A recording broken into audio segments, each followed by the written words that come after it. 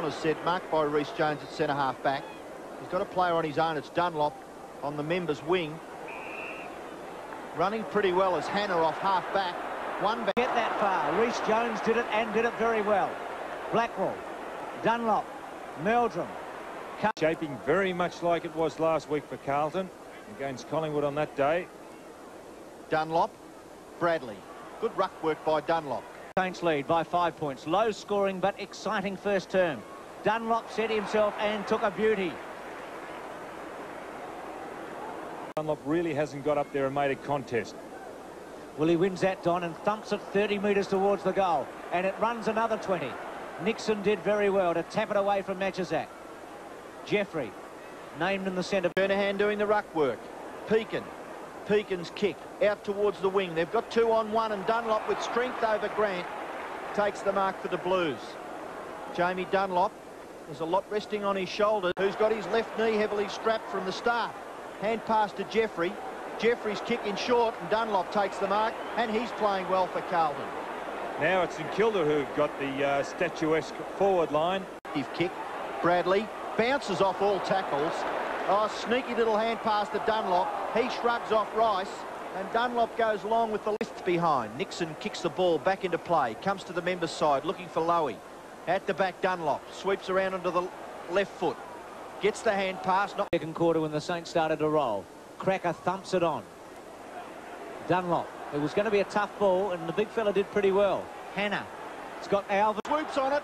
The little pass to centre half forward, and Dunlop takes the mark. The Blues have got the numbers up forward. Dunlop from 50 metres. A long kick. Minton Connell marks right. The umpire have nothing of that. Kitchke and Dunlop. Kitchke. Dunlop goes after it himself and gathers pretty well. Off to Bradley. And Shepherds. Good play, Jamie Dunlop. Too many senior games this season for the Hawks. Aitken, members side with a kick. Dunlop knocks it across the boundary line. Hawthorn 13-7, Carlton 5-8. A superb opening term today. Gleeson. Dunlop running through his Phillips.